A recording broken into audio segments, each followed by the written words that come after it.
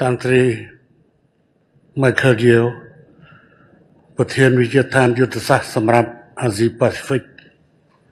សម្រាប់ឯកឧត្តមលោកជំទាវលោកលោកស្រីថ្ងៃនេះខ្ញុំមានកិត្តិយសនិងអារម្មណ៍រំភើបព្រីរាយយ៉ាងក្រៃលែងក្នុងការទទួលបានពានរង្វាន់សមិទ្ធផលពេញមួយជីវិតរបស់មេដឹកនាំឆ្នាំពិភពលោក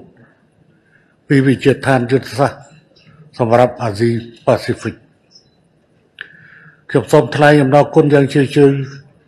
ចំពោះគណៈកម្មការនៃវិជាឋានយុទ្ធសាស្ត្រសម្រាប់អាស៊ីប៉ាស៊ីហ្វិកដែលបានទទួលស្គាល់នូវស្នាដៃនិងការខិតខំប្រឹងប្រែងរបស់ខ្ញុំក្នុងរយៈពេលជាង4ទសវត្សរ៍កន្លងទៅនេះ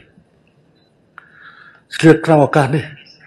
ខ្ញុំក៏សូមអបអរសាទរចំពោះការរៀបចំប្រកបដោយជោគជ័យ នៅកិច្ចប្រជុំកំពូលបច្ចេកវិទ្យានិងសេដ្ឋកិច្ចចិនសកល កាលពីថ្ងៃទី7ខែធ្នូឆ្នាំ2022កន្លងទៅពិតណាស់ថាការទទួលបាននូវពានរង្វាន់ដ៏វិសេសវិសាលនេះ គឺជាសក្ខីភាពជោគជ័យដ៏ត្រចះត្រចង់នៃការដឹកនាំដ៏ត្រឹមត្រូវរបស់រាជរដ្ឋាភិបាលជាពិសេសតាមរយៈការអនុវត្តគោលនយោបាយឈ្នះឈ្នះ ដែលនាំមកនូវការបង្រួបបង្រួមជាតិសន្តិភាពនិងស្ថិរភាពនយោបាយការនេះបានក្លាយជាជលករនិងជាកន្ទុលដ៏រឹងមាំក្នុងការជំរុញកំណើនសេដ្ឋកិច្ចកម្ពុជាហើយបានសម្រេចក្នុងអត្រា7%ជាមធ្យមប្រចាំឆ្នាំរហូតធ្វើឲ្យកម្ពុជាក្លាយជាប្រទេស មានចំណូលមធ្យមកម្រិតទាបនៅក្នុងឆ្នាំ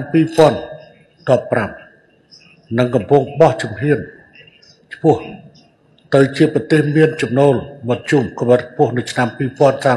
2030និងប្រទេសមានចំណូលខ្ពស់នៅឆ្នាំ2050